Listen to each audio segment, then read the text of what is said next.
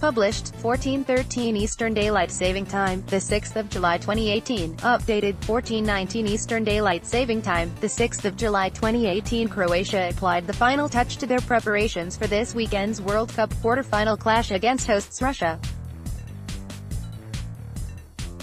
Zlatko Dalic took to the field at the Park Arena on Friday morning and worked on just about everything before retiring to their hotel for a night of rest ahead of their most important game for 20 years.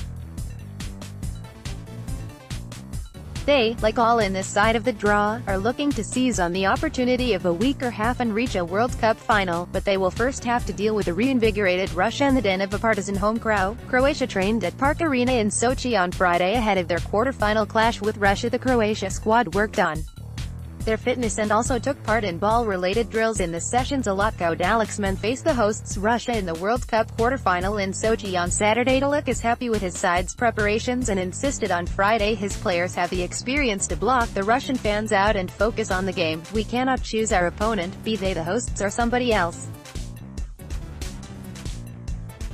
We are facing a huge game in the quarterfinals, it doesn't matter who the opponent is, he said. Every week, our players play in front of full houses with opponents' fans howling.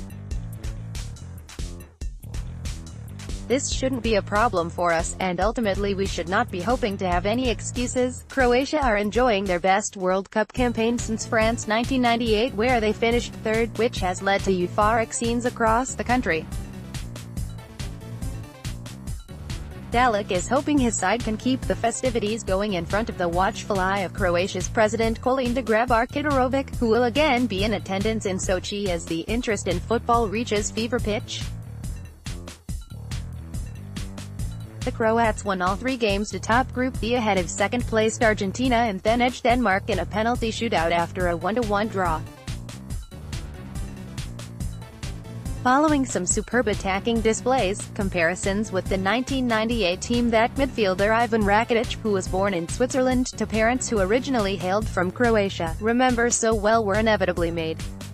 Dalic insisted his players have the experience to block out the din of the home supporters. Croatia's Ivan Rakitic sends a long ball over to a teammate during the session in Sochi Luka Modric, who will be key to Croatia's chances of success, was also Present for the session he remember in Möhlin in Switzerland, my hometown, we were all crazy, we rooted, we wanted to show our Swiss neighbors how powerful a football nation we are. Rakitic, who had dual citizenship but opted to play for Croatia, recalled.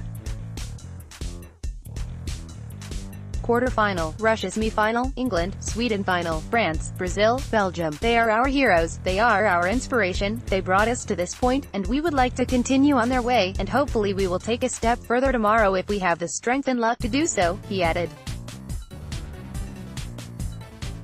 That Croatia side hammered Germany 3-0 to reach the semis in France, and Dalic is looking for a similar result on Saturday. I think that yesterday or the day before was 20 years since that Germany game. History is repeating itself. It doesn't have to be 3-0, 1-0 would suffice, he said of the July 4th clash in Lyon. That was a great success for Croatia as a nation, and we are on the right track to repeat that feat. Croatia forward Ivan Perisic used Friday's training session to sharpen up on his shooting striker Mario Mandzukic cut a focused figure as he took part in Croatia's final training session. Rakitic, right, said they will draw on Croatia's World Cup success in 1998 for inspiration.